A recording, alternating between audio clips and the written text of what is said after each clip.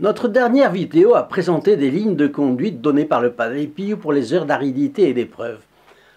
En directeur spirituel hors pair qu'il est, il continue.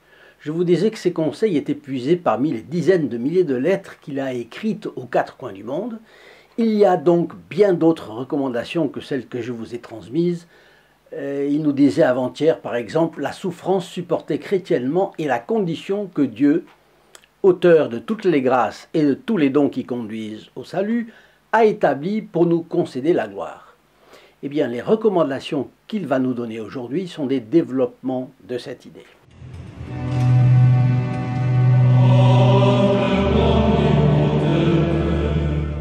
Cher ami fidèle du Padre Pio, bonjour. Mon nom est Jean Goyard et vous assistez au programme sur les pas du Padre Pio. Aujourd'hui, Padre Pio, votre conseiller spirituel aujourd'hui. Le premier est le suivant. La première recommandation est la suivante. Ne craignez pas. Au contraire, considérez-vous comme privilégié par Dieu qui vous a trouvé digne de souffrir pour lui et de participer aux douleurs de l'homme-dieu.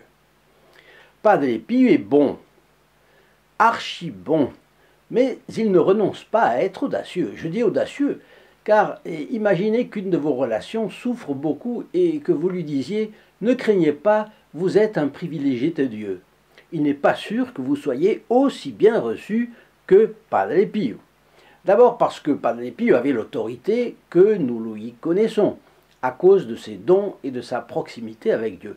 Ensuite parce que l'on sentait que la souffrance ben, il la savait à fond, il savait ce que c'était par expérience personnelle.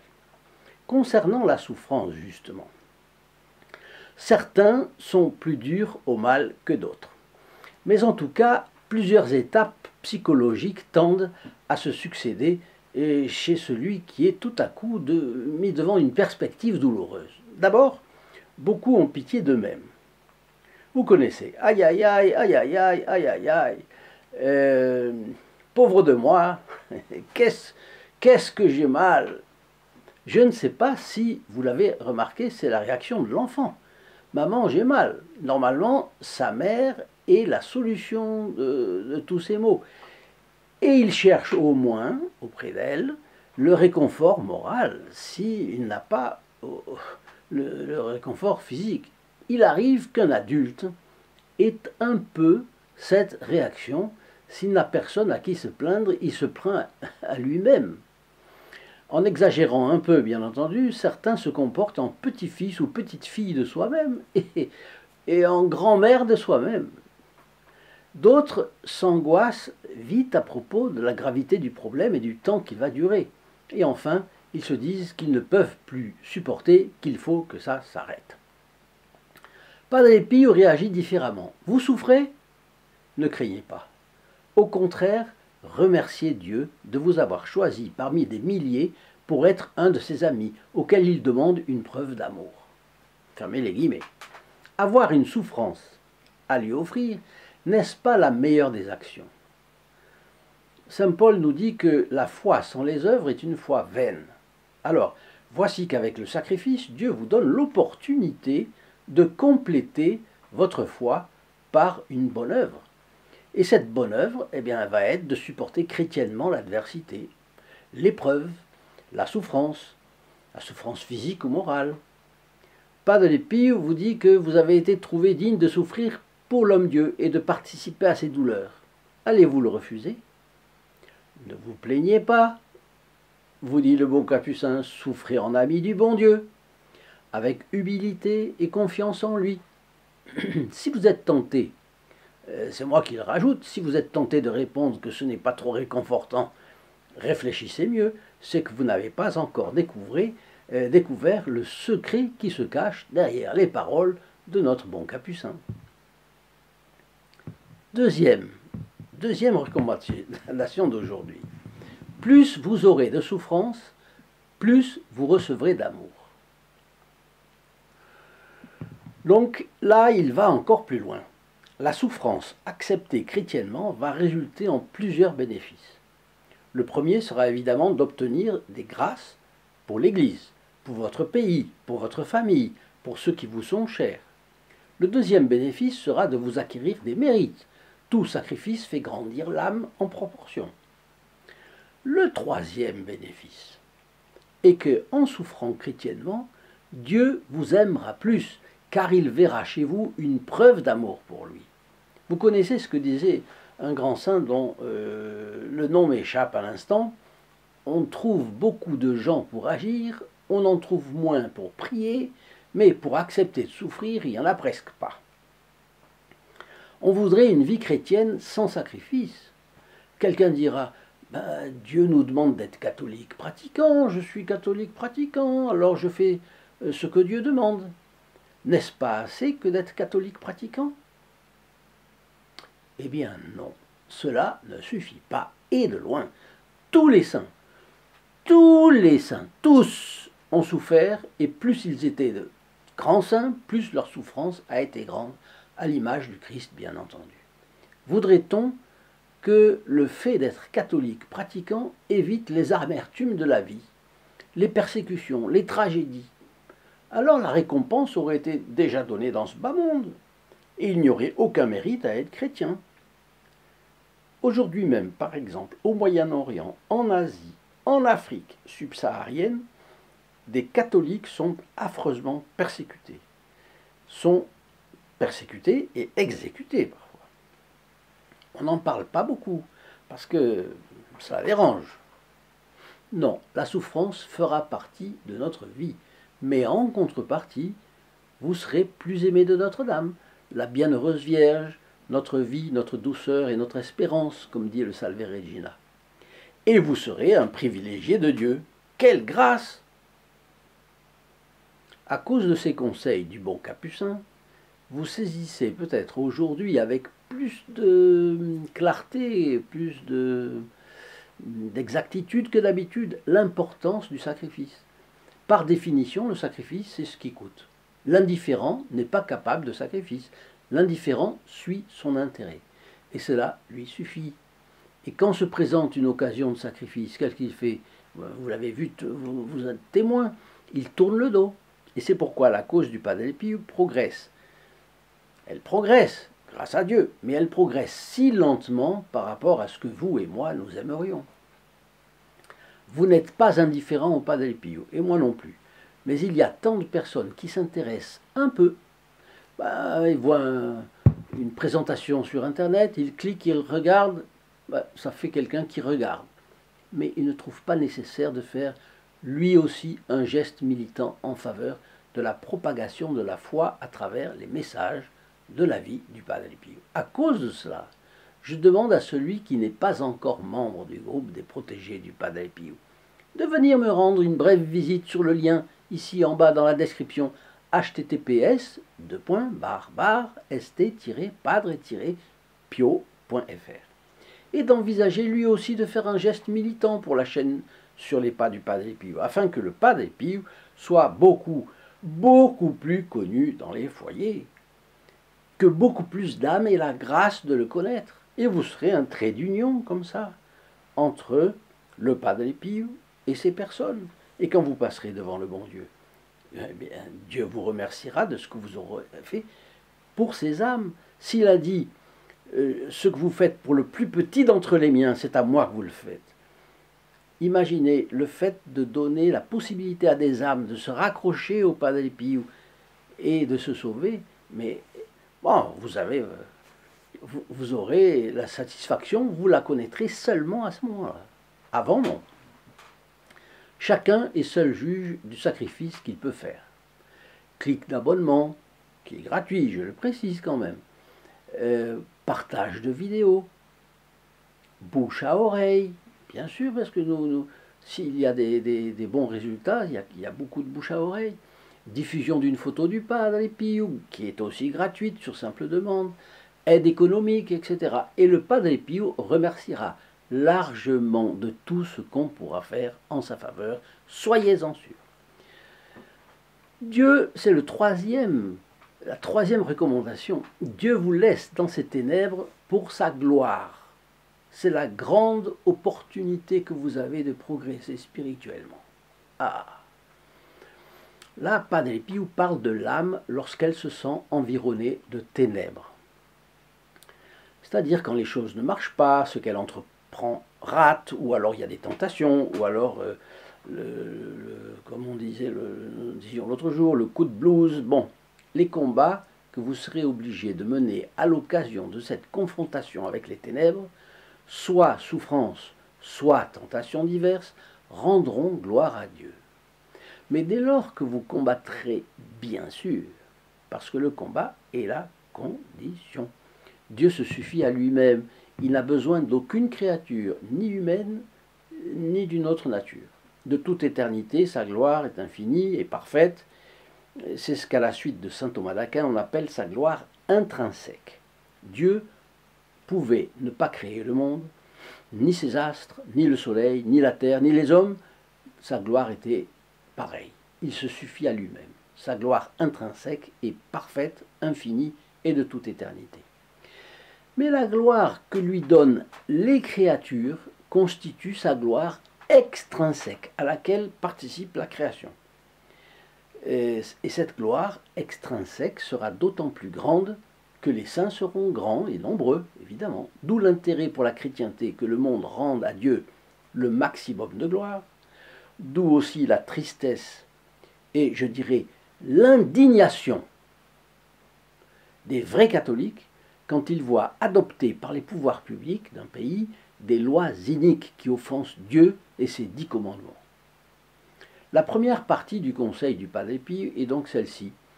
Dieu vous laisse dans les ténèbres pour que vous lui rendiez gloire malgré les ténèbres. C'est facile de chanter les louanges de Dieu quand tout va bien. Mais si tout était facile pour le catholique, celui-ci n'aurait aucun mérite à se dire ami de Dieu. C'est dans les difficultés qu'on voit ses amis. Et même un dicton euh, de la vie courante. Le Padre Pio précise ensuite c'est la grande opportunité que vous avez de progresser spirituellement. Ah, là, le combat qui vous fera progresser spirituellement. C'est ça. C'est pourquoi une certaine spiritualité mièvre et sentimentale rêve d'une vie sans tragédie, sans combat, sans difficulté. L'âme voudrait systématiquement pratiquer la politique de l'évitement, éviter toute souffrance, toute épreuve. Et c'est pourtant le contraire de ce que Dieu nous demande, dit le Padre Pio. Alors, euh, autre recommandation aujourd'hui. Dieu veut que, notre, que votre incapacité soit le siège de sa toute-puissance. Ah, dans l'adversité, dont au moins certains aspects dépassent largement les capacités de l'homme, il faut faire face. Comment faire face quand on s'en sent incapable? La pensée du Padre Pie est proche de Sainte Thérèse de Lisieux, qui a été, elle, une combattante et qui admirait tant Sainte Jeanne d'Arc, comme vous savez. Je vais donner le sens, non pas le mot à mot, mais le sens, grosso modo, de ce qu'on trouve dans la pensée de Sainte Thérèse de Lisieux. Elle indiquait que seule, elle n'était pas capable, elle était capable de rien, disons et que si elle alignait des zéros, la somme ferait toujours zéro. Zéro plus zéro plus zéro plus zéro. Elle accumulait les sacrifices, les petits riens, disait-elle, des zéros, mais mettez le chiffre 1 devant la grande quantité de zéros accumulés, et cela donne un nombre colossal, considérable. Alors elle disait, Jésus c'est le 1. Sans Jésus, elle n'était rien. Avec Jésus devant, le 1 devant, ah, il n'y avait rien de grand qu'elle ne pût espérer. Et de là, je ferai tomber une pluie, de roses, etc., etc. Il suffit d'avoir une humble confiance. Voilà, à la Padre Pio ou à la Sainte Thérèse, bien que leur voix soit bien différente. Donc là, nous avons notre euh, cinquième recommandation. Bénissez le Seigneur pour la souffrance que vous avez et a accepté de boire le calice de Gethsemane. Là, le pas d'épieu descend aux conséquences concrètes. En matière spirituelle, si l'on s'en tient à la théorie, on trouvera toujours des biais pour échapper, par exemple à l'examen de conscience. Donc, en matière spirituelle, il faut aller au concret. Mais là, le conseil du Padre Pio ne pourrait pas être plus carré. Il vous dit acceptez donc la souffrance que vous avez, remerciez-en le Seigneur et buvez le calice de Gethsemane. Ah, c'est très radical. Et à cause de cela, je suis sûr que ça ne plaît pas à tout le monde. Qu'est-ce que Gethsemane dans la vie du Christ? C'est le jardin des Oliviers. Celui où il est allé prier juste avant son arrestation pour avoir la force de continuer.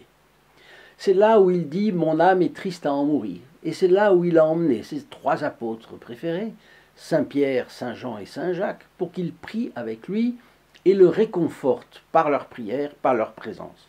Eh bien, qu'est-ce qui se passe? Ils s'endorment. Et il le laisse seul aux prises avec son angoisse. Parce que ça, c'est mystérieux. Sa nature divine, dès que c'est présenté la passion, donc là, euh, au Jardin des Oliviers, déjà, sa nature divine s'est éclipsée. Et il s'est retrouvé avec sa nature humaine seulement. C'est-à-dire souffrant la peur et l'angoisse, comme vous et moi, mais à la taille de la souffrance qui était la sienne, la, souffrance de sa passion qui arrivait. Et le calice de Gethsemane, c'est le comble de la solitude en plus. Ce n'est pas la crucifixion, bien sûr, mais c'est pire en un sens. Parce que lors de la crucifixion, Jésus est transpercé, euh, son dernier sang se répand et il rend l'esprit. Mais au jardin de Gethsemane, il voit tout ce qui va se passer dans l'histoire concernant son sacrifice. D'un côté, le gaspillage des grâces qu'il a méritées à tous les hommes, depuis le premier, Adam et Ève, jusqu'au dernier qui y aura dans l'histoire. C'est toutes ces angoisses, toutes ces souffrances et toutes ces douleurs, au fond, euh, qui, sont ramassées. C'est ce qu'on appelle le calice de Gethsemane. Les souffrances physiques, mais surtout les douleurs morales. La trahison ignominieuse de Judas, la fuite des onze autres apôtres, dont le disciple que Jésus aimait, que Jésus aimait nous dit l'Évangile, c'est-à-dire Saint Jean. Dans ce calice, Jésus a vu tous les péchés et tous les vices de l'histoire, pas seulement des individus, mais les péchés des peuples et des nations, du passé, du présent, du futur, des élites qu'il a destinées au pouvoir politique, par exemple. Et puis, de ses amis de prédilection, de ses fils de prédilection, les ecclésiastiques, de tous les rangs. Bon. C'est pourquoi la tradition retient que pour supporter tout cela, Dieu lui a envoyé un ange pour le consoler, un ange qui lui a montré à quoi servirait son sang versé. Donc, le contraire du gaspillage. Les grâces qui auront été acceptées, dont les hommes auront profité les beautés de l'Église, les combats gagnés par l'Église dans l'histoire, contre les hérésies par exemple, son influence bienfaisante, l'influence bienfaisante de l'Église sur les peuples, les grandes réussites chrétiennes, les missions par exemple, les conversions des peuples, les conversions des pécheurs, et puis la vertu des patriarches, des prophètes, des apôtres, une fois convertis, des martyrs, des confesseurs, des vierges, de tous les saints. Il n'en reste pas moins que le calice de Gethsemane, c'était un résumé de sa mission avec toutes ses amertumes et ses afflictions, sa solitude. Pourquoi Padre nous conseille-t-il d'accepter de boire le calice de Gethsemane? Parce que nous sommes comme les chevaux qui refusent l'obstacle, au lieu de prendre leur élan et de sauter, ils prennent leur élan, et au dernier moment, ils passent à côté. Il suffit d'une inattention du cavalier, passe à côté. Lorsque nous refusons de boire le calice de Jésus, nous avons, euh, disons, que, Jésus nous a préparé euh, pour partager le repas avec lui, eh bien, nous faisons cela. Nous euh, évitons l'obstacle. Et cela nous arrive plus fréquemment que nous le pensons. Nous n'accomplissons pas ce que Dieu attend de nous nous refusons de voir ce que la Providence nous demande et nous évitons l'obstacle. Et en particulier l'obstacle, eh bien, c'est que nous avons le calice à boire. Et il faut savoir que viendra le moment où nous serons seuls. C'est le moment où nous allons mourir. Et ça arrivera, ça arrivera à nous tous. L'homme, je répète toujours, l'homme est mortel. Jean est un homme, donc Jean est mortel. Voilà. Euh, alors, Padre Pio nous demande de porter notre attention à cela, d'accepter de boire le calice de Gethsemane et de bénir le Seigneur pour les souffrances que nous avons Et en particulier, il faut penser. Et maintenant, voyons donc la dernière recommandation que notre Père spirituel nous donne ce soir. Supportez les souffrances au long de votre vie pour pouvoir participer aux souffrances du Christ. Et là, c'est finalement la conclusion du Padre pour euh, cet ensemble de conseils. Padre nous en donne la grande raison. Il y a un but commun à tous les hommes de bonne volonté participer aux souffrances du Christ. C'est pour cela que nous faisons le signe de la croix. Sur la croix, tout est consommé. Notre Seigneur Jésus-Christ rend son esprit à son Père. Le voile du temple se déchire. Un terrifiant tremblement de terre a lieu. De nombreux morts ressuscitent et parcourent Jérusalem en disant aux gens leurs quatre vérités. L'épouvante se répand partout. Tout est consommé. Le Christ a souffert tout ce qu'il devait souffrir. Après, avec la mort du dernier apôtre, la, révélation sera close. Il n'y a rien à ajouter au mérite de sa passion. Mais Saint Paul montre que Dieu a voulu que l'homme ajoute sa participation. C'est la goutte d'eau que symboliquement le prêtre mêle au vin dans le calice lors de la messe, avant la consécration, et qui, par le mélange de l'eau et du vin, sera consacré, sera transformé dans euh, le, le sang de notre Seigneur Jésus-Christ. Quel honneur, quelle merveille. Alors, voilà ce que dit Saint Paul. Maintenant, je suis plein de joie dans mes souffrances pour vous et ce qui manque aux souffrances du Christ en ma propre chair, je l'achève pour son corps qui est l'Église. C'est Saint Paul aux Colossiens chapitre 1 verset 24. Nous devons participer aux souffrances du Christ. Voilà pourquoi il nous faut supporter les souffrances au long de notre vie. Et voilà, vous voyez, le Padre Pie avait raison. Même si c'est carré, même si c'est radical, eh bien oui, c'est comme ça.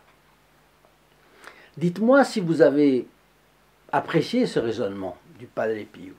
Bien sûr, vous allez me dire, c'est le Padre Pio. Oui, bien oui. Mais est-ce que vous arrivez à l'assimiler, si ça vous plaît? Si vous avez aimé cette vidéo, partagez-la à vos amis, bien, entendu. Et vous entrerez, et eux aussi, dans les intentions de la messe de vendredi prochain à midi. Je vous souhaite une très bonne journée et à notre prochaine vidéo. Au revoir.